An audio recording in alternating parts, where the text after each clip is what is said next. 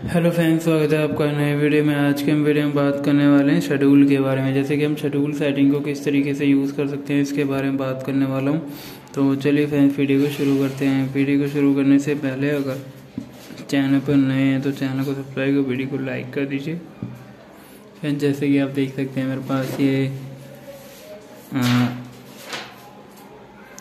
सबसे पहले सेटिंग पर जाएँगे। सेटिंग पे जाने के बाद आपको इस तरीके का आइकन शो करेगा। आपको यहाँ पर क्या करना होगा, जैसे कि आप देख सकते हैं।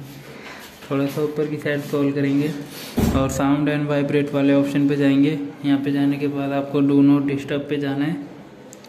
डू नॉट डिस्टर्ब पे जाने के बाद आप देख सकते हैं, यहाँ पर देख सकते हैं शेड्यूल इस पर हम क्लिक करेंगे। क्लिक करने के बाद आप यहाँ से इसे ऑफ़ कर देंगे।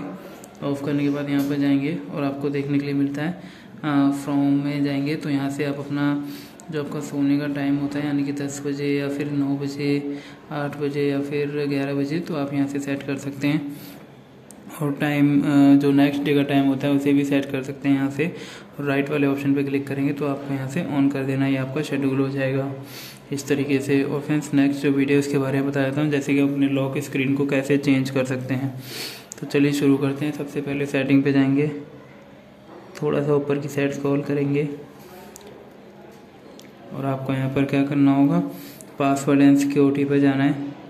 जाने के बाद आपको यहाँ पर क्या करना होगा? लॉक स्क्रीन पासवर्ड पर जाना है। और यहाँ पे आप देख सकते हैं, जो भी आपका लॉक है, उस लॉक को ओपन कर देंगे। ओपन करने के बाद आप देख सकते हैं पैटर्न पर जाएँगे। दोबारा से लॉक आएगा, इसको ओपन कर देंगे। ओपन करने के बाद आप देख सकते हैं, जो भी आपका पैटर्न लगाना चाहते हैं, लगा सकते हैं इस तरीके से। और यहाँ पे आपका सेट हो जाएगा। तो उम्मीद है फ्रेंड्स वीडियो पसंद आएगी। वीडियो पसंद आए तो चैनल को सब्सक्राइब कर वीडियो को लाइक कर दीजिए। मिलते हैं नेक्स्ट वीडियो में। तब तक के लिए नमस्कार।